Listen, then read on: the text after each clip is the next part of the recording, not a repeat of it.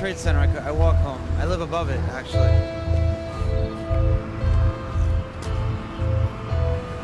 My ankle bracelet tells the government where I am every second of the day, any time of the day. But it's gonna come off when I go to prison, I think. Uh, I mean, I don't think I'm wearing this in prison, so that's what that's what the plan is for that.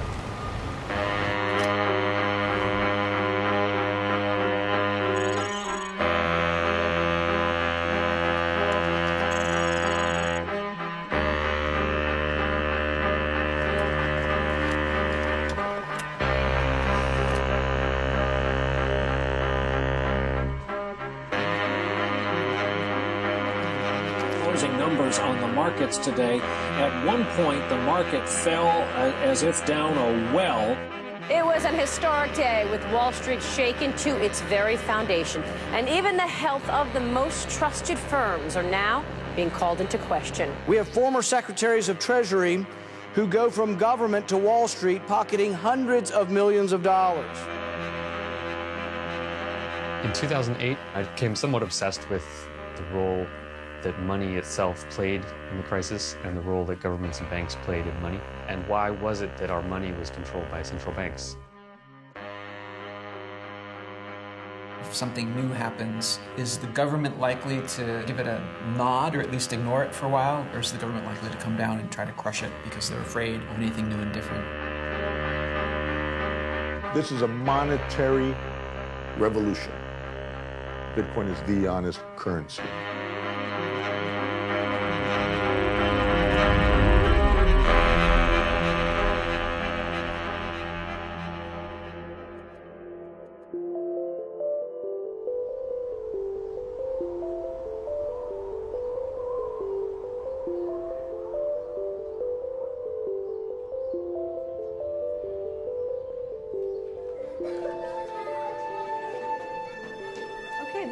This week we've been talking about money. I'm going to ask everybody what you think money is. Can you give me some answers now? Money is like paper and you can like buy stuff with it. So you have to have like four quarters for a dollar. You need money to buy your house, like food, water, oxygen, not oxygen. Money is basically just an accounting system. It is a way of recording who owns what, who has what, who owes what to whom. That is all money really is. And you needed somebody who could stand as the central issuer, somebody who was the trusted third party, someone who could guarantee that the money was real. And for hundreds of years now, we have had governments issue money. Again, money is just an accounting system. That's what Bitcoin is. Bitcoin is really just an accounting system. It is a way of recording transactions, recording value, and it does it digitally so you and I can send it to each other directly, and everything is recorded in the open ledger.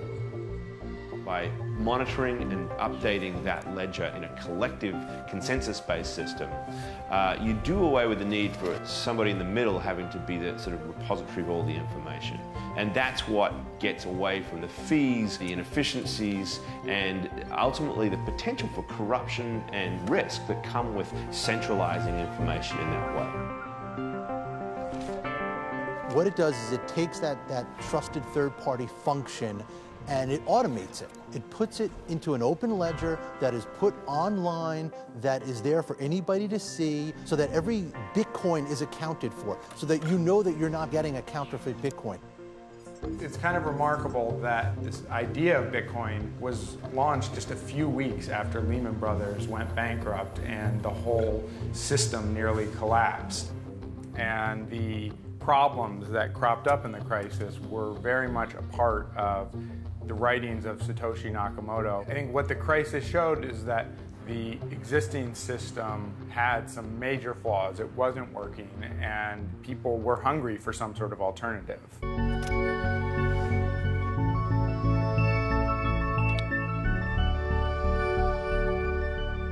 I discovered Bitcoin's power when I understood for the first time that it was not controlled by a central company or a central person. Because I knew that meant it couldn't be shut down. And if it can't get shut down, all it needs is to do something useful and it will become more and more adopted. And as the value grows, people will find more and more uses for it. The beauty of Bitcoin is it's easily transferable, it's anonymous, and by 2140, there's going to be 21 million, and that's the cap. There's only X amount of gold, there's only X amount of Bitcoin. Before, if you wanted to send something of value across the internet, you had to get somebody else involved. You had to have a credit card company or PayPal or maybe a bank involved in the transaction. The promise of Bitcoin is that you're directly sending this currency to another person, and then the Bitcoin network performs the function that normally PayPal or a bank or your credit card company would perform. Bitcoin really puts the control back in the hands of everybody. Everybody who's participating in the Bitcoin system is controlling how it works.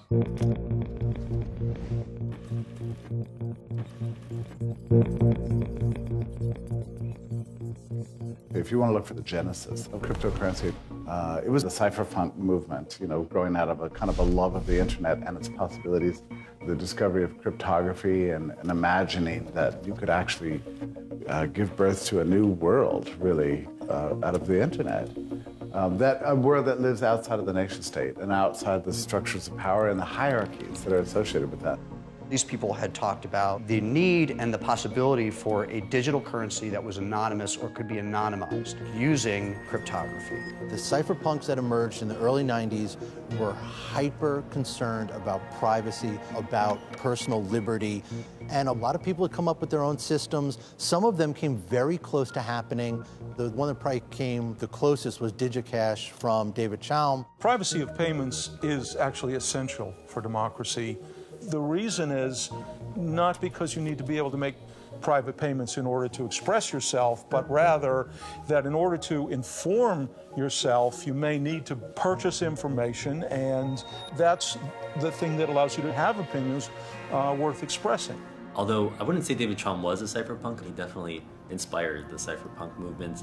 It's as if the cypherpunks kind of came upon David Chaum's tools, like the technology of some alien species, and they only took the weapons. They were most interested in the ones that could be used to disempower the government and empower individuals. The break between him and the cypherpunks came when he realized he would need existing institutions to help him with it. So he started talking to governments, he started talking to banks. He was very close to having this thing happen in the late 90s, and nobody was really prepared for this outside of the cypherpunk movement.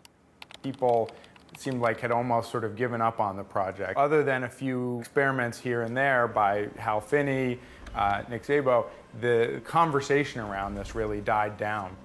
And then all of a sudden it came back to life after the financial crisis.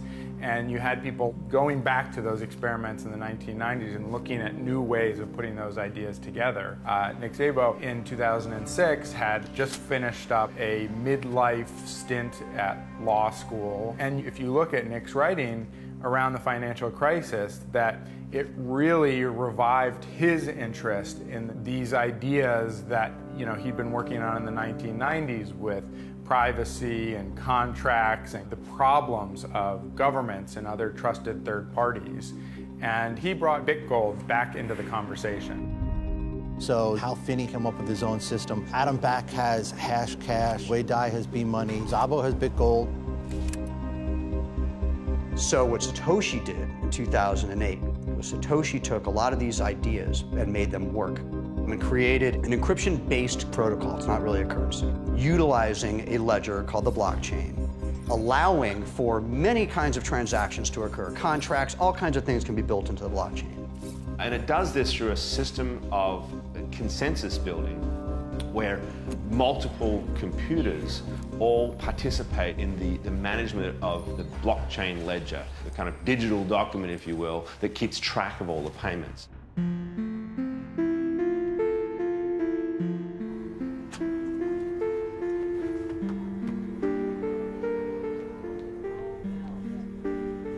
Understand it's something that is instantaneous uh, online and it can go from one country to the other and you know they can have their money. Well, I never heard of it until Nancy called me and uh, mentioned digital currency, and I'm thinking she must have been in the bottle this morning or something. Digital currency, yeah, what, what, you know. But they say it's for people who don't have bank accounts. I can't understand if you have one coin. It's let's say it's worth one hundred and fifty dollars. Um, what do you do? Give the number or something to the say the grocery store person, and then they subtract it. How how do you know? How do you make change? How do you know what you have left or what you've spent? You can have the money supply controlled by a computer. That's all Bitcoin really is. The key point here is that this is a distributed ledger. There is no central server. All the other ledgers that we have, all banking ledgers, all company ledgers, they all sit and reside inside that company, which means they have one point of attack. They can be hacked. JP Morgan was, was hacked by you know, cyber thieves not so long ago. Home Depot, Target, we've had all these companies get hacked precisely because there's one central repository of information. The Bitcoin ledger resides on you know, thousands of computers. You, you can't hack that. Every single transaction is recorded, and once it is recorded in the blockchain, it is there. It is permanent. It cannot be altered. It cannot be changed so that you can read it. Now, the identities of the people are encrypted. The wallets are encrypted, so you don't know who is spending the money, but you know that every single Bitcoin out there has a history. You know where it's been. You know the different addresses it's gone between. The most important pieces of the Bitcoin infrastructure are the miners. These are the computers that are tasked with maintaining the ledger of the blockchain, to verify the information, to update it, to, to make sure that, that this is trustworthy. So how do we incentivize them to do so? As they are going through the process of confirming transactions, they are simultaneously being subjected to a very, very difficult computing test. The Bitcoin Core protocol is, is forcing them to look for a number. All of these miners are ultimately competing to be the one that receives that payout every 10 minutes. But really, that's the secondary component. They're really being rewarded with Bitcoin for what is the more important task, and that is the validation and verification of transactions and the maintaining of the ledger. Bitcoin, in being the first to achieve this holy grail of decentralized value exchange, that transfers that process of trust to a collective agreement around a, body of independent computers who are compelled by an incentive system to maintain that consensus and, and firm the information to be correct is incredibly liberating because it means that we can do it without all these intermediaries in all these different realms. The most important thing behind Bitcoin is not the currency. The key factor is the blockchain. Nobody expected this. You know, in 2008, you know, very few people cared about it. It was just the computer scientists and the sort of code geeks that were really interested in. All of my communication with Satoshi was ever um, via either the Bitcoin Talk forums, which all of that communication is public, or private forum messages, or private emails. Satoshi was always all business. It was just always about the code. My very first message to Satoshi, I asked him, so, you know, is Satoshi your real name? What have you done before? Can you tell me a little bit about yourself? And he just ignored that completely. But came back and said, you know, I'm great to have more experienced programmers helping out with the project. You know, here's a couple of problems that need to be solved. Maybe you can help solve them.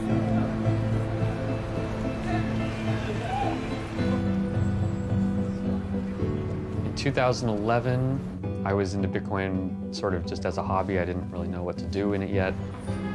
I was trying to meet everyone I could, figure out what projects would be cool to work on.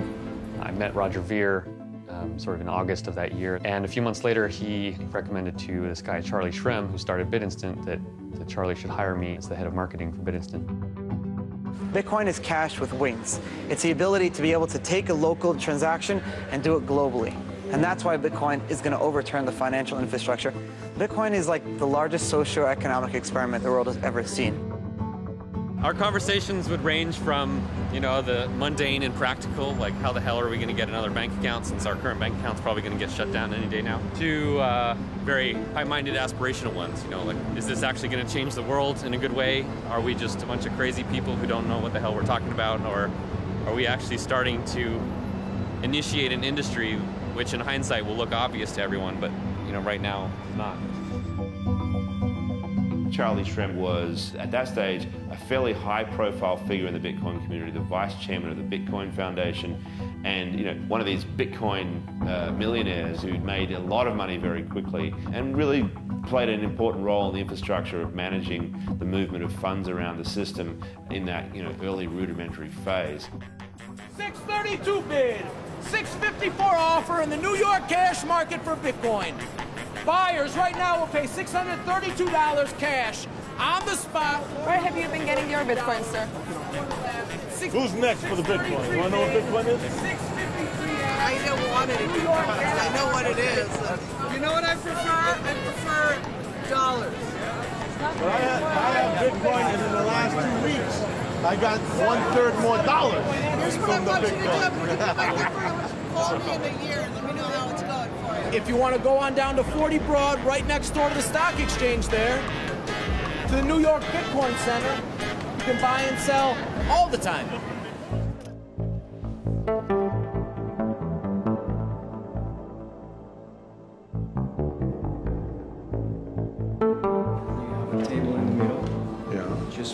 One small table round, and I have uh, flowers, like a flower arrangement.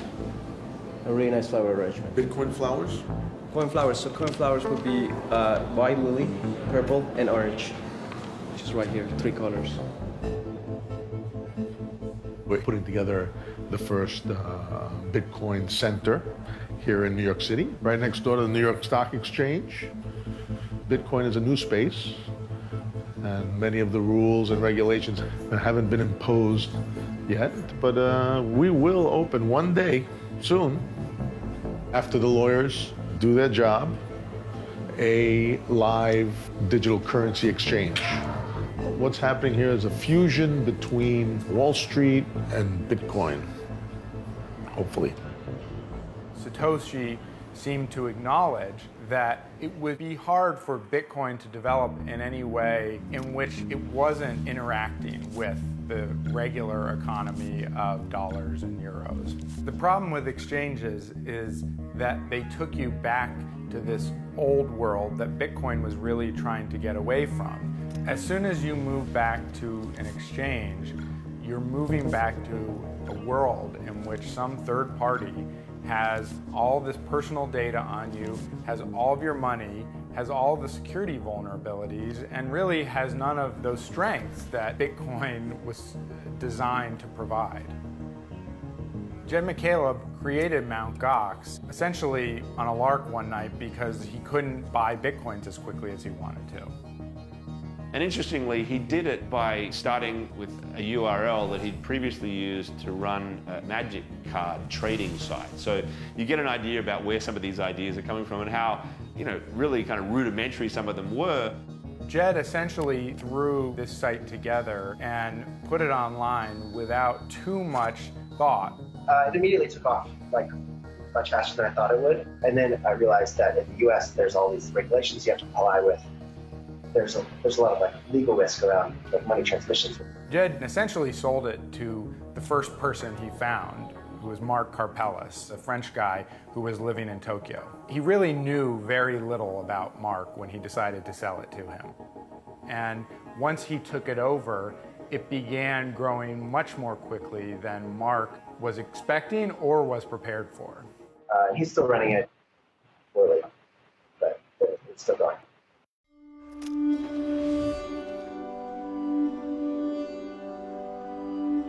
There are 21 million bitcoins programmed into the system that are going to be released. It's a set number. But within that, every single bitcoin can be divided up into 100 million different pieces. So there's room for it to expand as the use expands, especially in the emerging markets, in the developing world. That is really the most interesting place to see where this thing goes. So in my pocket, I have 100 trillion Zimbabwe dollars from the Reserve Bank of Zimbabwe, just as a reminder of you know what happens if our governments screw up our money. You know, Zimbabwe is a good example of a, of a government that lost the trust of their people, and they lost the trust of their people by printing too much money and, and causing runaway hyperinflation. So I think you will see you know people in other parts of the world who've experienced hyperinflation, who've experienced bank failures. I think those will be the kind of people who are looking for something something new, right? They're willing to take the risk. A lot of us take the capacity to send money to, to others, receive money, store money, and do it electronically these days for granted because we are amongst the lucky 50% or so of the world that have bank accounts.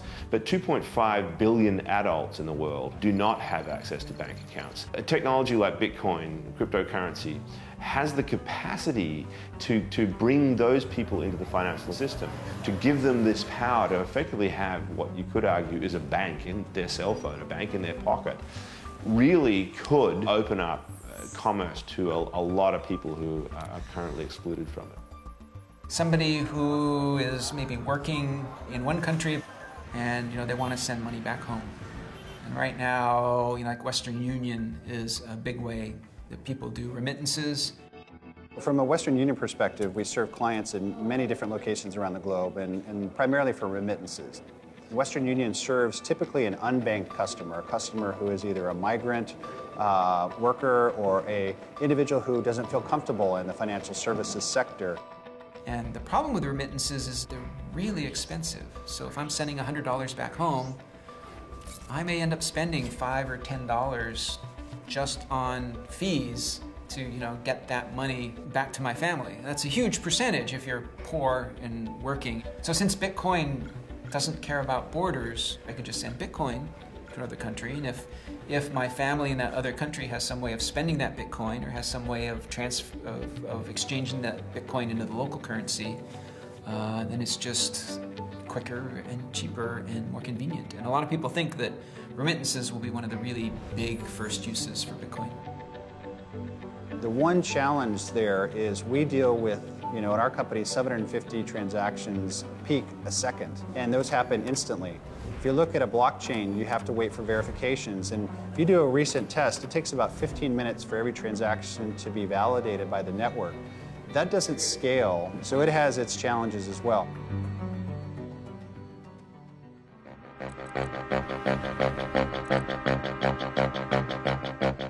WikiLeaks, which solicits and publishes secrets and suppressed material from whistleblowers around the world, has been under cyber attack from governments that want to shut it down. PayPal is the latest business to break ties with WikiLeaks. But the whistleblowing website dedicated to publishing classified government documents still continues to seek funding while crossing out PayPal as one method of payment. In order to ensure our future survival, WikiLeaks is now forced to temporarily suspend all publishing operations in order to direct all our resources into fighting the blockade and raising funds. The WikiLeaks scandal seemed to provide an opportunity for Bitcoin. At the time, the big banks and credit cards stopped processing payments for WikiLeaks, and some people thought that Bitcoin would provide a way to send donations to WikiLeaks.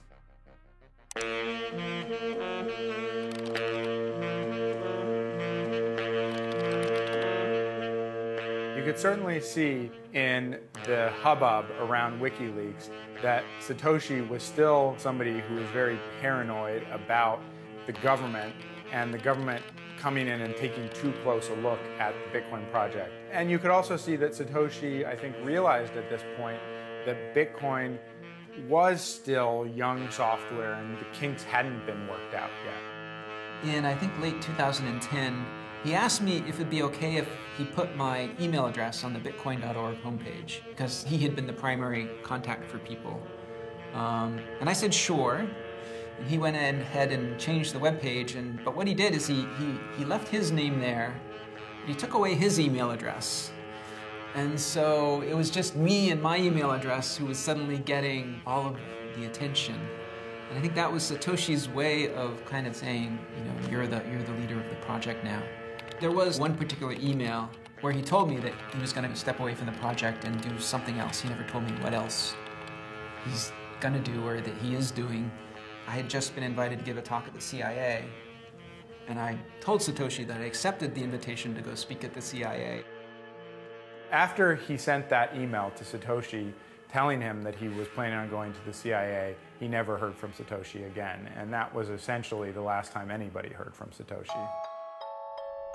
you very quickly get caught up in the question of who is Satoshi Nakamoto? Where did this come from? Who is this person? I mean, this is the 2000s. Information is out there, everything. Everyone knows everything about everybody. How can there possibly be a person that nobody knows who this guy is? But there is a person, and at least they think it's a person, it might be a group, who nobody knows who this guy is. And he kind of appears out of nowhere in 2008 on these cryptography email lists with this system called Bitcoin. He's very active in the early years. There's a lot of back and forth with him communicating with people. It seemed like most people kind of wrote him off. It's kind of like a illusions of grandeur kind of scheme. Hal Finney, on the other hand, seemed to be really interested right from the beginning. He was a crypto idealist. Like he was not as kind of cynical as many of the other cypherpunks. So he got really into this. He started talking to Satoshi Nakamoto, who he said seemed like some young Japanese American coder. Hal Finney was the first guy to work with Nakamoto. He was a cryptographer. As soon as uh, Nakamoto released it, he was one of the first people to email him back and say, hey, this is interesting, I'd like to work with you. And in the first weeks of Bitcoin, he worked with him back and forth setting up the system. And Satoshi Nakamoto ended up sending Hal Finney the first ever Bitcoin transaction. Any discussion of Satoshi's identity has to go back to the fact that Bitcoin was based on this small number of projects back in the 1990s that only a handful of people knew about, like Hashcash and BitGold and B-Money. And so you end up with a pretty small group of people who would have known about these projects. People thought Chaum, David Chaum was, an, you know, everybody in the cypherpunk movement at one point or another, they've said, well, he must have been Satoshi. Uh, they've all come out and denied it. Probably somebody who started out in the 90s in California with the cypherpunks, somebody who is very, very good at cryptography, who understands encryption, and has done a wonderful job of just separating Bitcoin from anything that can identify him.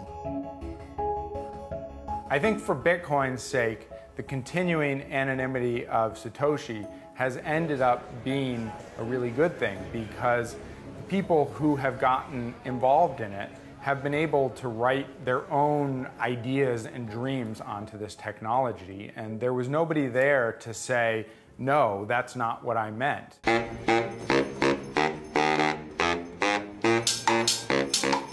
In the, the early, early days, the first group was really just a bunch of, of more or less tech-minded uh, coders.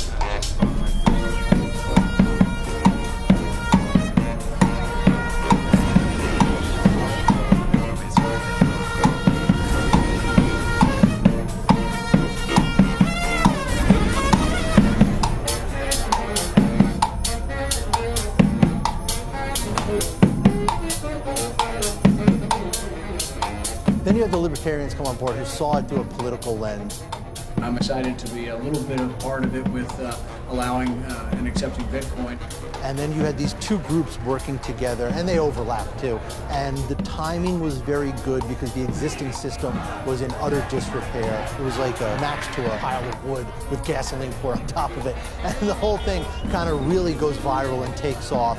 And then you have the suits, the VC money. And it was very small at first, just a couple guys out in Silicon Valley who ran into Bitcoin guys at coffee houses, and you started having this meshing of conversations. Once Silicon Valley gets on board, that whole dynamic starts to take off. So now you have the tech-minded coders, the libertarians, the counterculture people, the VCs, Silicon Valley, and you have this entire great mishmash of people coming together. You had a, a network effect. The more people that got involved, the stronger the network got, and the more it grew, and it really started growing on itself. And in 2013 especially, you, you would literally see this thing mushroom. The thing was just growing, growing, and growing, and growing as more and more people got involved. I think most Bitcoin companies at the time knew that a big part of the market for Bitcoins was people buying drugs on Silk Road who needed Bitcoins to do that. The big bang moment for Bitcoin was the Silk Road. What Ross Ulbricht did by creating the Silk Road was he took this by no means common but usable cryptocurrency called Bitcoin and he married it with a streamlined, workable user interface that was a free market that could sell anything. what would happen if people were really free, truly free, to trade what they wanted to. Ross did have an extremely radical libertarian viewpoint and really wanted to experiment with using technology to create free markets for people. What Ross Ulbricht did was a combination of Tor and Bitcoin. That was the aha moment that Ross must have had. The Silk Road was basically the fruition of all of the cypherpunk dreams, the crypto anarchist utopia that they had imagined in the 90s, you know, was real now. It, this was a perfectly, in theory, anonymous website with perfectly, in theory, anonymous money used to buy any contrabands imaginable. The Silk Road website is a particular headache for authorities. It's an anonymous online marketplace where people sell drugs that are posted to customers all over the world. Cyber investigators, you know, when there's a crime, can kind of trace you back because you have an IP address. It's like a telephone number. So if you call another computer, that IP address is tracked. On Tor, that's taken away because your information hops from computer to computer to computer. So there's no way to trace you back to your original one. Tor is an anonymous system. So if you use the Tor browser, which it has a browser, you can go to Tor and download their browser. You can browse with some degree of security. So that's great for plugging your banking information into a site so you don't get hacked.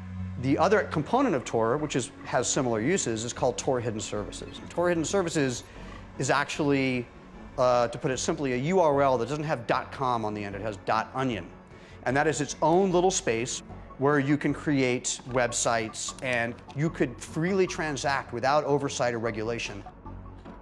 People put websites on there that are outside of law enforcement's view. There's hackers for hire, there was malware, there's credit card dump services, there was a whole bunch of them. Chris Bell has ended up being, in some ways, the most important FBI digital crime investigator of the last few years. He was the one who took down Anonymous, essentially. So we decided to start looking at some of the services on Tor, and Silk Road being one of them. Other cases, they would hit Tor and they would kind of throw their hands in the air and say, it's Tor, there's not much we can do about it. I found it interesting to kind of take a look at it and tackle it.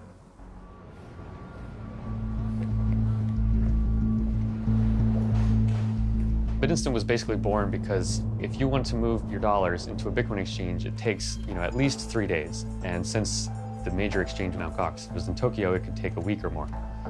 So that's really problematic. Um, and basically, Charlie had figured out that if he just held a balance of dollars at the exchange, you could go to him and say, Charlie, I'll give you $100. Will you give me $100 of credit at the exchange? And you can literally then have your dollars at the exchange in 10 seconds as opposed to a week. So that's hugely helpful, especially when Bitcoin is so volatile and you need to know exactly what price you're going to get. Charlie was raising capital uh, right as sort of I, I joined. During that process, he came across lots of interested investors who were starting to get a whiff that maybe this Bitcoin thing was, was cool. We had an interesting debate early on about um, do we invest in Bitcoin or Bitcoin companies, and we sort of decided to do um, both. More towards investing in actually Bitcoin and the asset early days, but also trying to place a few bets in the ecosystem to support the companies, support the entrepreneurs, um, and, and see how that went. A few days after they first found out about Bitcoin, they were in the BitInstant offices in New York meeting with Erik and Charlie. And Erik and Charlie uh, essentially talked them through Bitcoin and answered all of their questions and concerns. What made you invest in BitInstant? There are a lot of companies and exchanges and websites. With respect to Bitcoin, regulation is obviously a big question. What you do want is a company that sort of takes that seriously and understands that there's the technology element, um, there's building the company, and then there's also creating the company that works with regulators. And so that's BitInstant. It's, it's not this sort of completely underground thing. Yeah, I mean, Charlie, the CEO, happens to have been in the space for a long time, so he's sort of on the pulse and the cutting edge. You know, you come out and you say like, we want this Bitcoin thing to overturn everything, but at the same time, we have to be compliant and we have to know, you have to know your customer.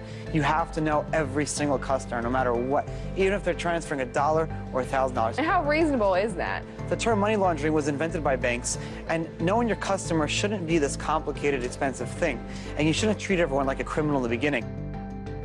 They really wanted us involved. People were really friendly because it benefits you to onboard more people in. So Bitcoin's always been this very friendly community, and it's also, in, in some ways, it's, it's self-serving that way. But um, we were there for the right reasons. At the time, BitInstant was the big company other than Mt. Gox. It was the way that most Americans were able to buy Bitcoins.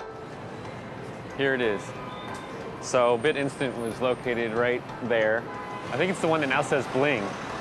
It was a whirlwind six months, going from total obscurity with, with no money to becoming you know, one of the hot startups of, of Bitcoin. But almost as soon as the twins made their investment in the company, it began falling apart. The twins had a much more practical approach to Bitcoin and BitInstant. They wanted to see the company making money and making as much money as it could, as quickly as it could. They saw early on that it would be regulated, that it wasn't going to be this big and have no one be interested in regulating it. So they feared that all kinds of regulators would come in at all different angles and tie the thing up in a complete morass where nothing would ever get done. So they wanted to help drive the regulation so that whatever regulation would be there would work and would not end up being a complete dead end for Bitcoin. That strategy is smarter from purely a business perspective. But I'm not in this purely from a business perspective. I, am in this for business and because I'm trying to change the world and make it better. And building Bitcoin companies and begging for regulation that matches exactly the banking regulation that has caused so many problems, um, I feel like is counterproductive. For the most part, BitInstant was actually taking steps to make sure that people weren't using the service for illegal purposes. But Charlie made the mistake in dealing with BTC King of acknowledging that he knew what BTC King was doing and that he was acquiring bitcoins to sell them to Silk Road customers. In this case, Charlie worked with the guy and wrote emails that essentially acknowledged he knew what this guy was up to.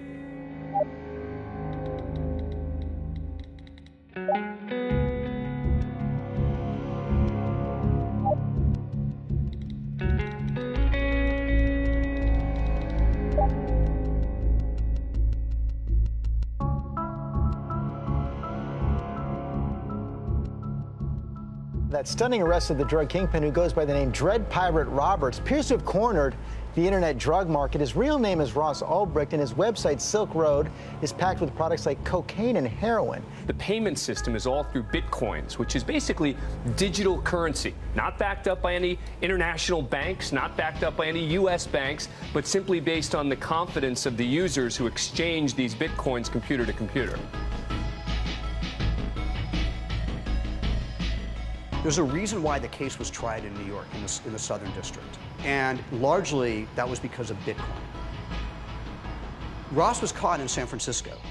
The Silk Road servers were out of the country. So why was Ross's case tried in the Southern District of New York, where most of the financial regulations cases are dealt with, where the District of Attorney, Preet has been all over Bitcoin, where Charles Schumer, the senator, has been all over Bitcoin. Ross Ulbricht's case is a Bitcoin case. There's absolutely no denying it. The, the level of threat that the Silk Road posed to the marketplace, to Wall Street, whether it's a perceived threat or an actual threat, was humongous. And the idea that somebody could create a marketplace where you could freely transact without oversight or regulation had to be dealt a massive and public blow. Bitcoin kind of monetized that anonymous part of the internet and it made it possible to trade in things that the federal government doesn't want you to trade in. Law enforcement moves slowly, but it's it's a big heavy wheel that grinds finely. So you know, uh, someone was running a hidden service, and now they're in prison for life. They were playing hardball. It was very evident that their intention as the judge herself said in her sentencing, was to make an example out of Ross, was to say to all of you people using Bitcoin, to all of you people who want to tangle with unregulated um, marketplaces and technologies and open source, you know, cryptocurrencies, we will throw the book in its entirety at you if you do this. We seized a whole bunch of bitcoins. And in order to sell those bitcoins off or, or, or go to an exchange, you have to fit within federal law and state law. There's not really an exchanger that could handle that, that, that met those regulations at the current time. So it had to be handled through auction.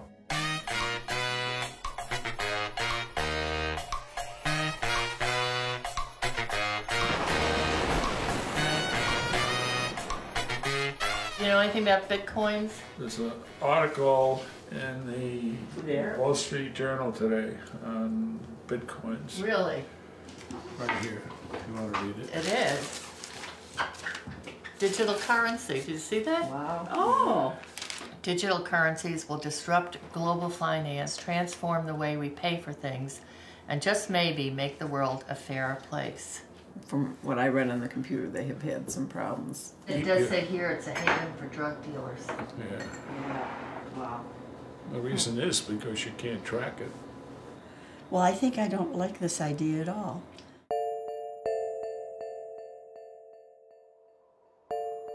When we saw the Silk Road shut down, a lot of people said, you know, Bitcoin's nothing but illegal drugs on the internet. That's what it is. And they would point at the Silk Road and say, look here at all the stuff that's happening here. And I think when you saw the Silk Road shut down and Bitcoin transaction volume take a tiny little dip and then keep going up, you know, I think that was that was a great event to point at and say, you know, it it really wasn't about that. It really isn't about that. You know, it's a tiny little part of the economy. I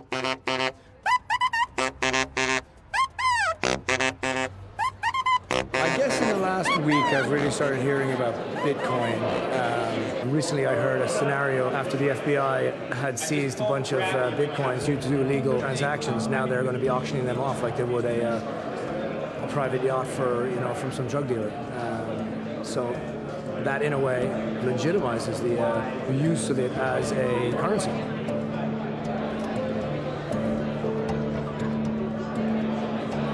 Looks like it's the first live Bitcoin exchange on Wall Street. Looks that way. So one for 900. Buying or selling? Right now, we are looking at the open interest at the floor of the Bitcoin exchange. There's different exchanges that are online that will present the bid and ask, but there's no true open outcry exchange. Buyers and sellers coming together in an open, clear, transparent, honest way. What do we call it? 900.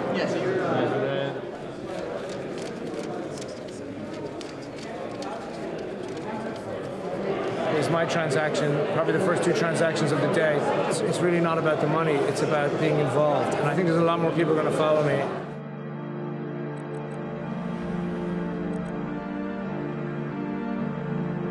Charlie Shrem, 24 years old, arrested today and charged with engaging in money laundering. Um, Shrem enabled people to transfer money from Bitcoin to cash via his company called Bit Instant. Now, the other point that the DEA is making is that Shrem bought drugs online at Silk Road and that he knew Silk Road was a trafficking website. And uh, we know the Winklevoss twins, who obviously were featured in the movie about Facebook, they're actually investors in Shrem's company.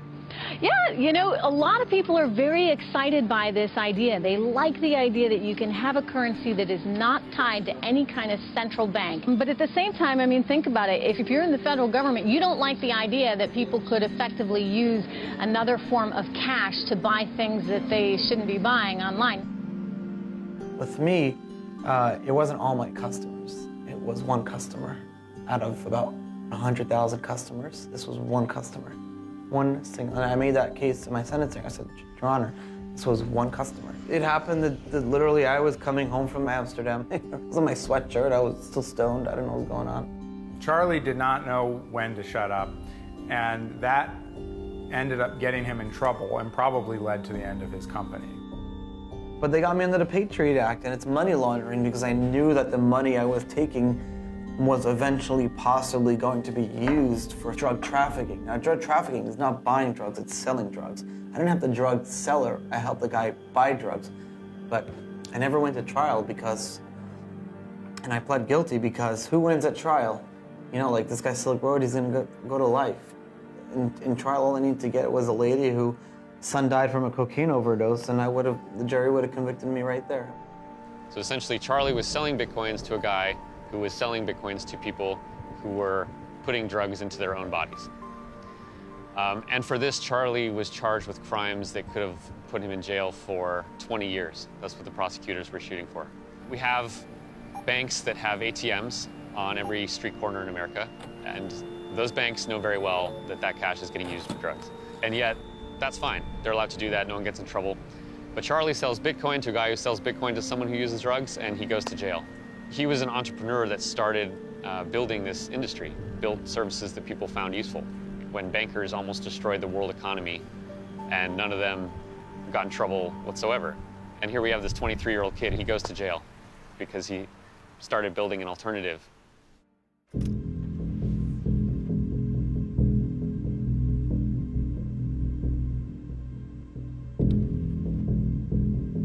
The last six months, our agency has been conducting an extensive inquiry into virtual currencies. The information we're going to gather in this fact-finding effort will allow us to put forward, during the course of 2014, a proposed regulatory framework for virtual currency firms operating in New York. Yesterday, we had serious criminal conduct uh, come to light involving virtual currency as a vehicle for money laundering, uh, drug trafficking, and other major felonies. Right now, the regulation of virtual currency industry is still akin to a virtual Wild West. That's why we're evaluating whether our agency should issue a so-called bit license, specifically tailored to virtual currencies. I think people who imagine a very powerful utility like Bitcoin that would somehow escape regulation entirely are either naive or extreme optimist. Bitcoin is a battle of ideas, and it forces the issue of whether people should be as free in their handling of money as they are in their handling of speech or religion or relationships with each other. If you want to have this thing go mainstream, you're going to have to have the regulators, the lawmakers weigh in on it. One of the first ones who really took an interest was Benjamin Lawsky, very important regulator in the financial world. And in January 2014 holds these public hearings because he wants to come up with a license for Bitcoin companies. We believe that putting in place appropriate regulatory safeguards for virtual currencies will ultimately be beneficial to the long-term strength of the industry itself. Lawsky was essentially given the opportunity to write the rules for this whole new industry from scratch. The first question is the obvious one that's on everyone's mind. It was sort of unexpected yesterday, but with the arrests we saw, obviously that's uh, put a bit of a cloud hanging over the industry right now. And so, how do each of you react to what we saw yesterday, and what it means for Bitcoin or virtual currency and its future? I think it further supports that um, bad guys are going to do bad things and they're going to use whatever technology is available to them. Um, but I view it as if the allegations are true and they're convicted, the system works. Are people still doing bad things with Bitcoin? Sure. Is the majority of the Bitcoin activity vice? Not a chance. So I think the issue you raise is one um, that people like to write about, the media likes to write about, makes great headlines, you get a lot of clicks, you can sell a lot of ads, but I think it's in, in the rearview mirror. There are some people in the Bitcoin community from the libertarian side of things that want government to just leave it alone. Would you say regulation is both inevitable, but more importantly, actually ultimately going to be crucial for the survival of virtual currency? Sounds like a terrible idea to me. Uh, just understand what we're trying to do with Bitcoin. We're trying to create a world where transactions can move globally for free, okay?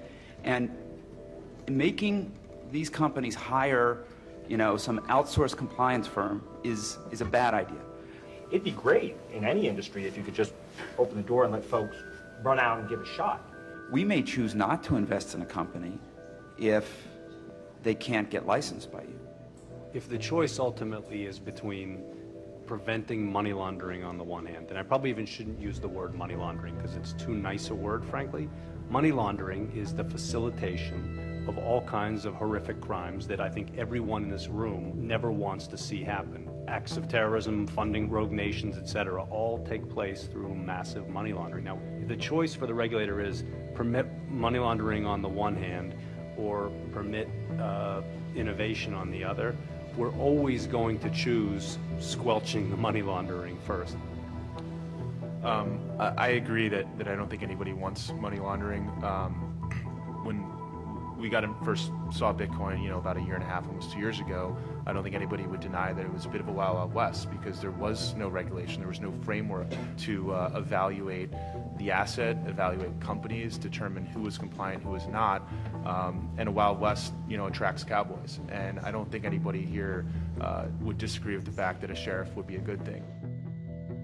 A lot of, I think, the entrepreneurs feel like they have to self-censor. They don't want to come out vocally critical of the regulations. Part of that is maybe because some of them just like regulations, but I think another part of it, some of them just feel like they will get attention of the regulators if they come out against them. Yes, we want them to innovate, but at the same time, we just can't live in a world where we're going to permit um, uh, money laundering to go on. I think regulators should give Bitcoin some time to grow up. Too much regulation now will just stifle innovation. And I think before regulators kind of come in and say, we're going to solve all your problems, and then fail to solve all our problems, I think they should give the innovators time to solve those problems. One function of regulation is to make things clearer. So right now, Bitcoin, because it's so new, is in a state of flux everywhere. The lesson from the internet is anything that China bans, invest in. Uh, and uh, that's a joke, but um, the U.S. allows Google to operate here, allows Twitter to operate here, allows Bitcoin to operate here, allows Facebook to operate here. Chinese government doesn't allow any of those companies to operate the way they operate in this country, or at all. Uh, it's about freedom, ultimately. You know, we're 50 yards from the old World Trade Center here, and uh, I think all of us never want to see anything like that happen again. And it would have been a lot harder for 9 11 to ever have occurred had we had the protections in place that would prevent the movement of massive amounts of money around the globe by uh, people who would uh, want to kill everybody in this room. So um, uh, I think the key is to uh, not create useless regulation, but I think the motives behind a lot of those rules are to ensure uh, we don't miss something again. Since 2001, there's this absurd obsession with terrorism. So anytime a regulator gets up and says, well, Bitcoin can be used for terrorism, well, of course it can. So can anything. So can cell phones, and so can the internet, and so can a car. Uh, it doesn't mean that we should, you know, stifle the growth of those industries just because bad people can use it.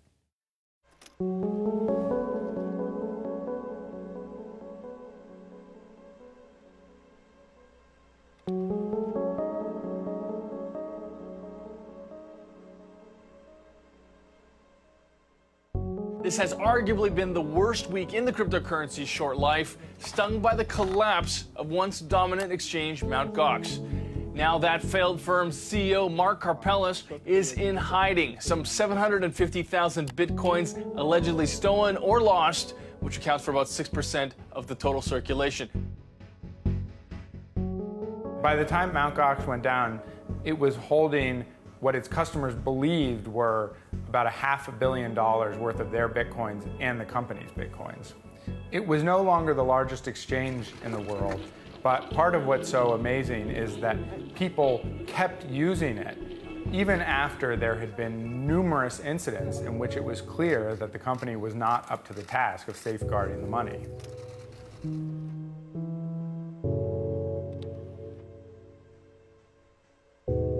And the only reason he survived as long as he did was because in 2013 the price started going up. People kept putting money into it. He had more and more money because the price was going up. But as soon as the price started going down, and this is what happened, right? It peaks in late 2013, it starts coming down in 2014. As soon as that price started coming down, it, it all just tumbled for him. Gox was going to collapse.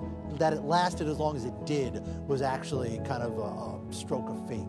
But its failure was it didn't have the kind of more boring mainstream institutional controls that we require to bring it to the next level. And uh, there's a whole bunch of money missing, and no one knows if they just lost it, if it was stolen from them, if they uh, embezzled it, or, or what. But the, the important lesson from Gox isn't that Bitcoin doesn't work. The important lesson from Gox is that you don't leave your money with a trusted third party because you can't always trust them. You can only trust them until you can't. This was also a lesson that people were supposed to learn during the financial crisis, but they don't seem to have learned it yet. Mark Karpelès was a gamer. He was not a finance pro. He really didn't know what he was doing. And he didn't, he didn't build it. Jed McCaleb built it. He didn't improve upon it. I mean, it lurched from crisis to crisis throughout the entire history. Last year was a terrible year uh, for Bitcoin, and especially terrible year for the foundation because we had two of the people on our board of directors who had to resign in disgrace, basically. Um, you know, my, my expertise is technology. My expertise is not figuring out like who's trustworthy, who's not, you know, which businesses are going to succeed, which businesses are going to fail. After we had held our hearings, we thought we would take six months to nine months, even a year, to draft our initial regulations. This was so complicated that we wanted to really take our time and get it right. Uh, what happened was, though, Mt. Gox collapsed.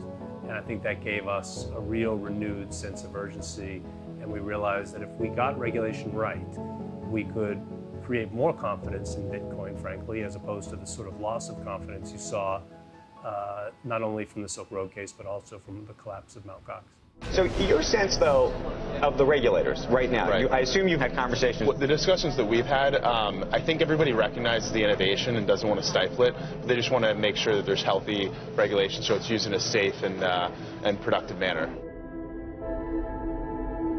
I'm not giving up on New York. New York's giving up on me. I can't even turn on a Bitcoin machine. An ATM, I can't turn it on. I can't make trades. I can't do anything. There's no cash flow at all. And it's potential regulation. It's uh, regulation that I should believe uh, is coming down the uh, pipe. Like, I don't want to do anything that someone's frowning upon right next door to the stock market. They're going to lock me up. You know, you can't have an exchange. Well, we don't. People meet then exchange with each other. New York's sitting there on the high horse, and the whole world's waiting on New York to create some fucking license.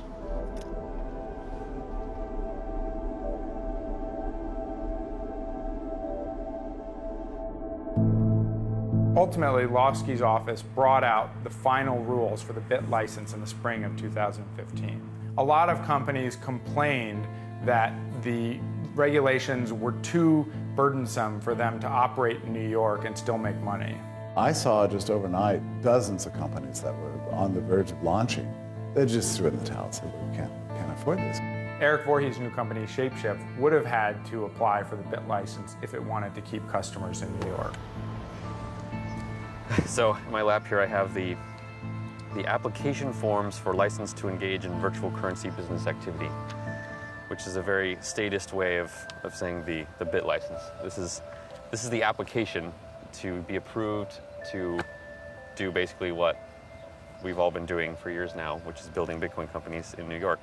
And a lot of stuff in here I personally feel is unethical, so we're not going to comply with it, which means we have to block New Yorkers entirely. And when an entire new industry starts blocking a place like New York that used to be the financial center of the world, hopefully some of those politicians will take notice. The point of it is to, one, make sure there are enough consumer protections, two, make sure we have adequate cybersecurity, three, make sure that the companies are adequately capitalized so they don't collapse upon themselves. You know, you've seen a tug of war between the hardliners and, and those who are saying, you know, you've got to have enough space for innovation in here. And the system has, has come out, I think, probably stronger as a result of that.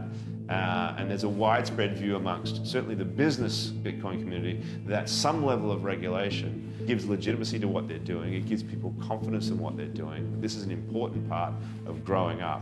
Ultimately, they're not going to get it right because no regulation is ever right. But I'm, highly confident that whatever um, happens going forward, um, the bit license will be looked at as a, as a positive development in the, in the evolution of, of Bitcoin because it just removed one of the biggest pieces of uncertainty, which is how is this industry going to be regulated?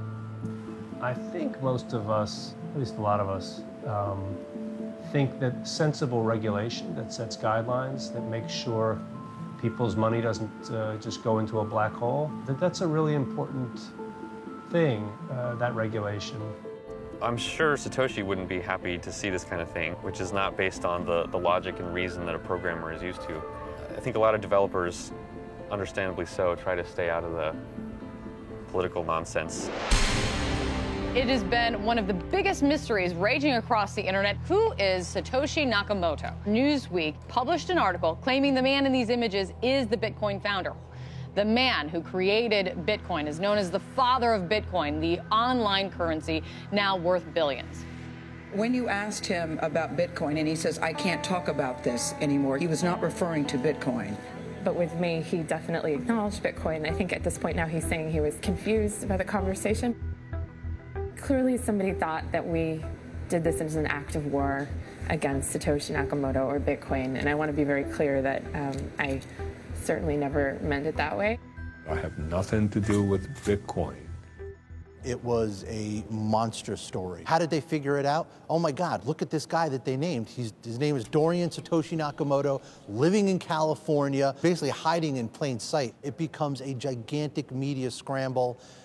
And then Dorian emerges from his house looking kind of disheveled, looking kind of confused, and says he's not Satoshi Nakamoto, says he's never heard of Bitcoin. He doesn't understand. He had one conversation with Leah. She misunderstood what he said. She took it the wrong way. And you probably would have had to have been a cypherpunk to understand all the elements of it that had already been put together. The odds of it seem very low to me that it was somebody from completely outside that community who happened to know all these different things and put this together and appear out of nowhere. The day that Newsweek's story came out, naming Dorian Nakamoto as the creator of Bitcoin, I got this email from an old acquaintance that was titled, What Are the Odds? And it laid out the fact that Hal Finney lives less than two miles away from the known address of Dorian Nakamoto, where Newsweek had found him. And Hal Finney is the number two ever user of Bitcoin who received the first Bitcoin transaction.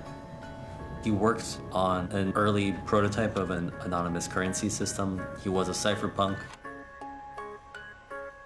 So, how could it be that the purported creator of Bitcoin and this known, confirmed second ever user of Bitcoin hadn't ever collaborated, that Hal Finney, who was less than two miles away from Dorian Nakamoto, hadn't helped to create Bitcoin, or maybe he really was the creator of Bitcoin. Maybe Hal Finney was Satoshi Nakamoto. When you look at the Bitcoin white paper, it made reference to a lot of the earlier projects that fed into Bitcoin, but it's very notable that the one project it doesn't refer to is Nick Szabo's Bitgold, which is perhaps the closest precedent and the closest parallel to Bitcoin. I mean, Bitgold is so close to Bitcoin, it's hard not to think that, you know, maybe Nick is Satoshi. A lot of people will say Nakamoto must be Szabo, Nakamoto must have been Finney. But I don't think he was trying to leave any breadcrumbs out there for anybody to follow. I told my editor about it. he agreed that you found Satoshi Nakamoto. So I got on a plane to Santa Barbara and I drove out to Hal Finney's house. Um, but at this stage, he was already completely paralyzed by ALS. This really awful, debilitating terminal illness that slowly shuts down your body while leaving your mind completely intact. And the time when he started to fade in his physical abilities did roughly coincide with the time that Satoshi Nakamoto started to disappear. Now, maybe the reason that Satoshi Nakamoto had chosen to fade away was because Hal Finney was physically fading. There have been a number of stylometric studies, and you see so many of these similarities between Satoshi's writing and those of Nick's, including these little things like having two spaces at the beginning of a sentence and phrases and spellings that nobody else uses. So I talked to Hal as much as I could, mostly in a kind of one-way interview because he could really only respond with yes and no answers. And he denied being Satoshi Nakamoto. You could tell that he was amused by the whole idea that I thought he was Satoshi Nakamoto. One of the really remarkable things from Nick Szabo's writing in those months before Bitcoin was publicly launched is that Nick, in responding to some comments about a post he had made about BitGold, actually asked the other people who were reading him if anybody wanted to help him code this idea up into real software that could work. It was never turned into a reality, but when you look at BitGold, it's, it's hard not to be struck by uh, the similarities between it and, and Bitcoin. Maybe it was a duo. It was Szabo and Hal Finney, and now. It's possible. Yeah, Hal could have been the coder. Um, I don't know. You know, this idea that, that Hal Finney could have been the kind of ghost coder for Bitcoin, um, I guess it's possible. Other people kind of speculating on Reddit or other parts of the internet thought that maybe Hal Finney had used Dorian Nakamoto as a, a patsy. If he were ever traced back to Dorian Nakamoto, it would seem like this guy was the creator and Hal Finney would be sort of immunized from it.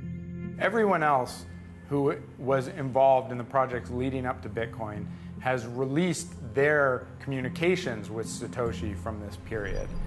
Nick has avoided doing that and essentially went silent in those critical months after Bitcoin was released. You know, when you talk to people face to face and they tell you these things, you can get a sense if they're being honest. And if Hal Finney actually had a secret billion dollar cache of Bitcoins, he wouldn't have been able to lie to me so effectively about it. In the end, the reasons to believe that this was all just a coincidence began to outweigh the coincidence itself. It's almost like an eel. There's something there, you can see it, but as soon as you touch it, it just slides right out of your hands and you're left with nothing. Anybody who is of any note in the cypherpunk movement, and even outside of it too, has at one time or another been called Satoshi. Hal Finney denied it, Nick Szabo denied it, they've all denied it. Maybe one of them is Satoshi, maybe all of them are Satoshi. It really is a mystery.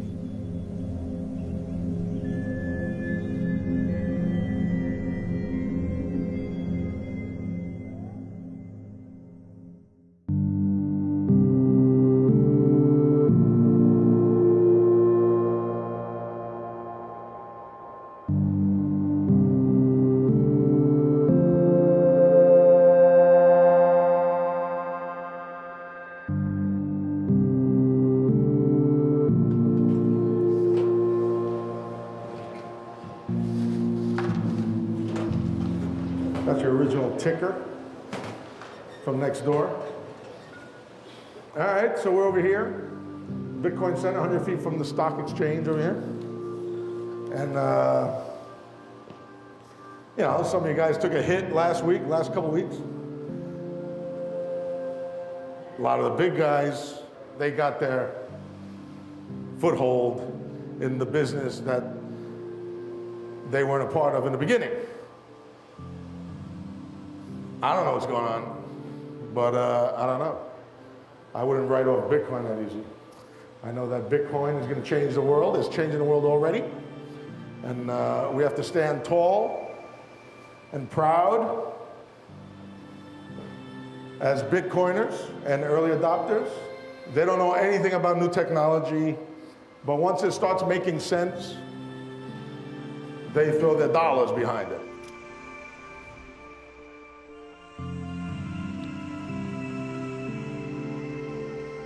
You know, unfortunately,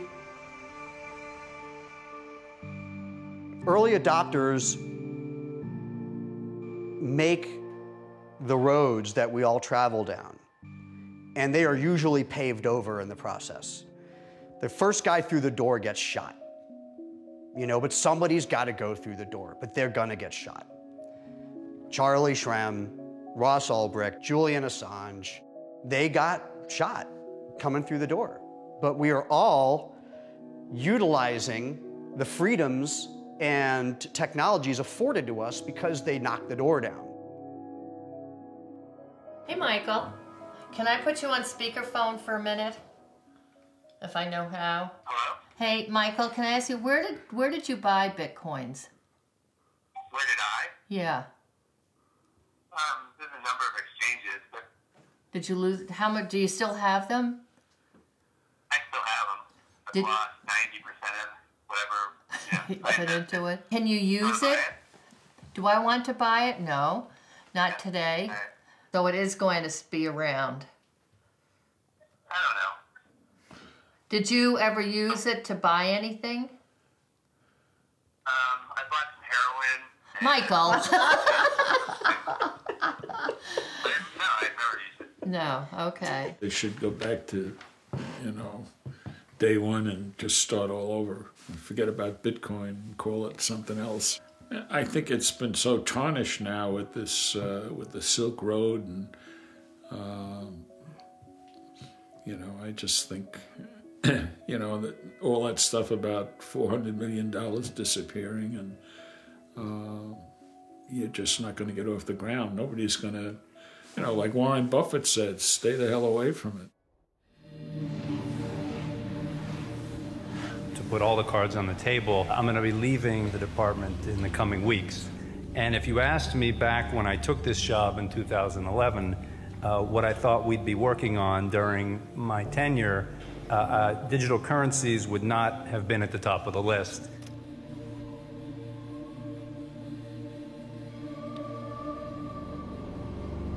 So Ben Lawsky created this thing called the BitLicense, which is uh, New York's attempt to regulate uh, this scary new technology. It's now law, and he has announced that he is leaving uh, government in order to set up his own private consulting firm to help companies navigate financial regulations such as the BitLicense that he created. So we essentially had this beautiful new ecosystem being built, and Ben Lawsky comes by, says, I'm here to protect consumers. He builds a huge wall around the thing, and then he sits outside the gate charging people to get in. This is the very definition of crony capitalism, and for some reason, Ben Lawsky doesn't even see anything wrong with that. I, I think history will not judge him as favorably as he thinks. So um, yeah, um, I've started up my own uh, consulting business. Uh, it's been quite interesting doing a lot of work uh, in the fintech space, but also doing work with a lot of uh, traditional uh, companies in the financial services world as well. Ben Lawsky's team at the DFS that was working on this, these, this BitLicense and the Bitcoin initiative have all ended up leaving the agency and going to consulting firms that are now working on these issues. Danny Alter is going to work for ItBit, and Dana Syracuse is going to work for the consulting firm K2. ItBit is particularly notable because they were the first to find a way to partner with the DFS to get licensed to open their own Bitcoin exchange.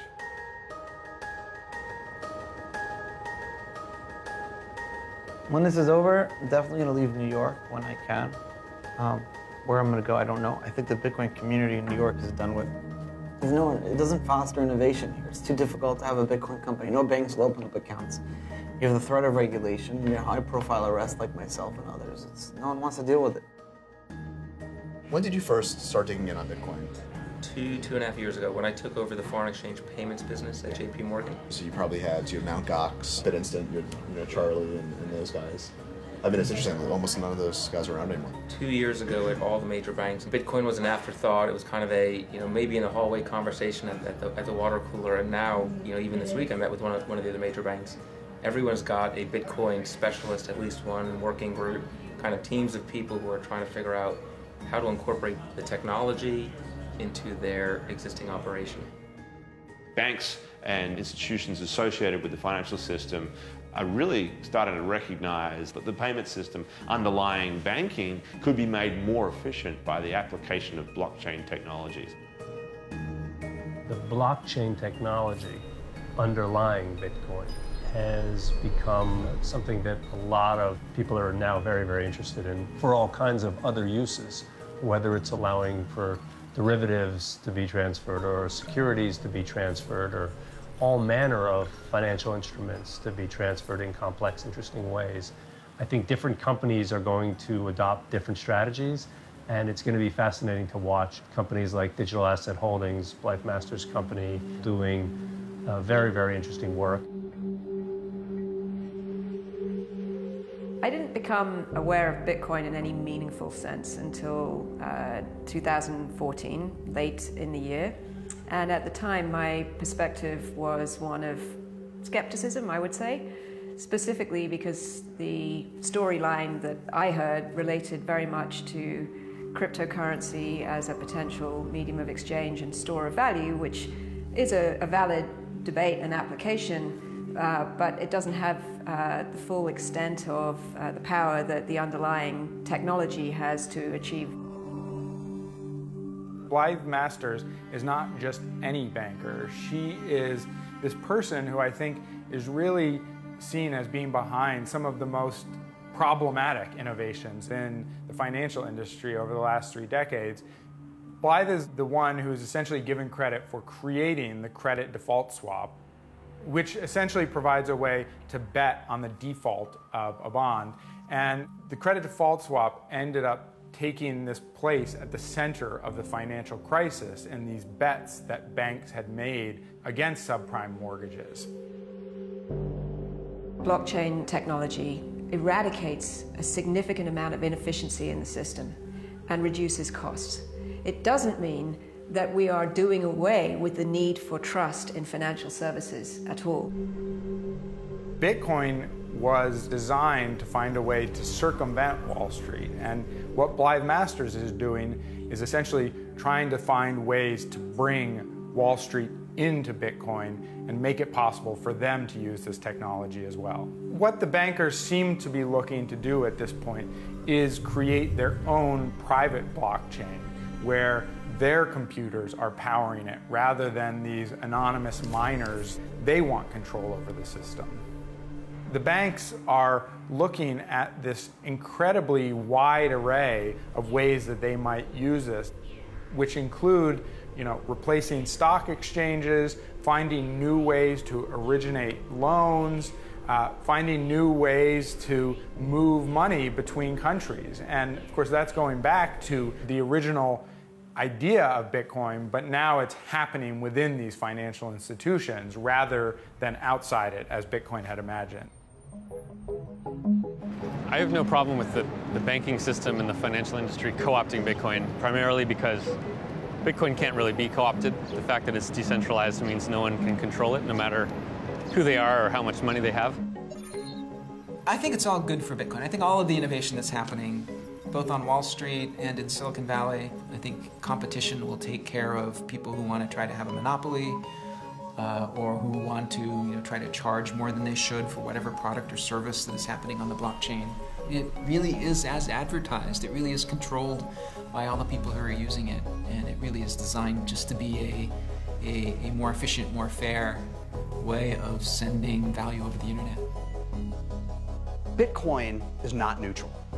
You cannot remove the political component that Satoshi implanted in Bitcoin from Bitcoin. It's what a lot of the people on the Wall Street side try to do. You cannot neutralize Bitcoin. It's impossible. Thankfully, I'm going to go to a you know comfy federal prison camp without fences, has pool tables and a track and a baseball field and you know decent food and kind of 100 200 people that are white collar. Those guys in prison are the best ones to use Bitcoin. They're, they're smart. I'm very excited to talk to them about it.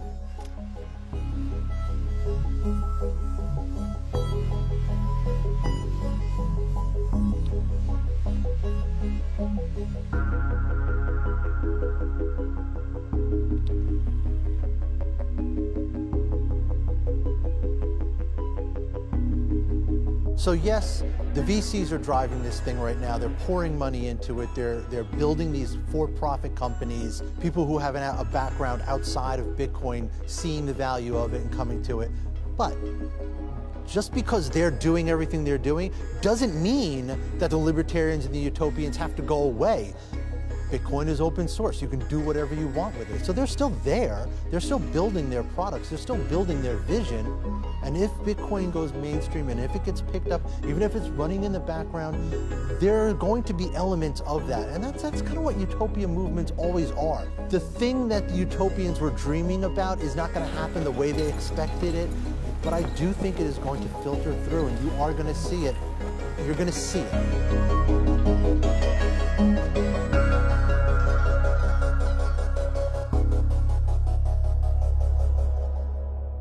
So you're going to show me that Satoshi Nakamoto is you? Yes. Some people will believe, some people won't. And to tell you the truth, I don't really care. But you can say, hand on heart to me, I am Satoshi Nakamoto. I was the main part of it. Other people helped me. I'm going to come in front of a camera once. And I will never, ever be on a camera ever again for any TV station or any media, ever.